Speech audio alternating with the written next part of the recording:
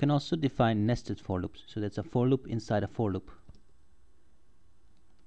So let's start defining a for loop. And inside this for loop you can have another for loop. So now we have a for loop inside a for loop. And obviously we could print something inside it.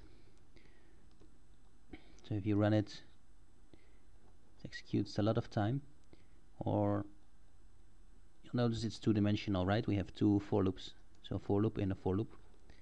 And we're going to print ig so there you go. We have this one dimension going to 9 and this dimension going to 9 and both starting from 0 so this would like go over every position in a two-dimensional space.